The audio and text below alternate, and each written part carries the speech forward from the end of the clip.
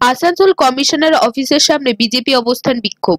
Bhatpara BJP সংসদ অর্জুন সিং এর উপরে যে হামলা, আক্রমণ হলো, তারই প্রতিবাদে রাজ্য জুড়ে বিজেপি বিক্ষোভ কর্মসূচি হলো আজ।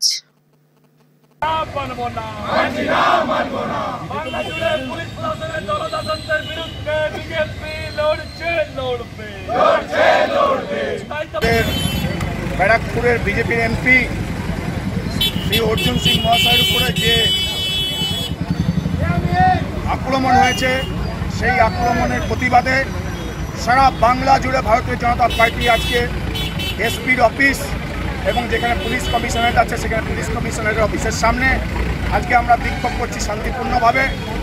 আমরা এখানে শান্তিপূর্ণভাবে বিক্ষোভ করলাম এবং এই বিক্ষোভের মধ্যে দিয়ে আমরা বার্তা পৌঁছে দিতে চাইলাম চাইলাম যে যদি এইভাবে আক্রমণ যদি তৃণমূলের পক্ষ থেকে যদি বন্ধ না হয়, তাহলে আগামী দিনে আমরা রাজপথে বৃহত্তর আন্দোলন করতে বাধ্য হব এবং এর পরবর্তীকালে কী পদক্ষেপ হবে, পরবর্তী সময়ে আমরা তা জানাব।